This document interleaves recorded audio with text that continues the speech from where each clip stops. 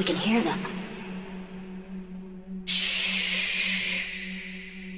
Can you hear them?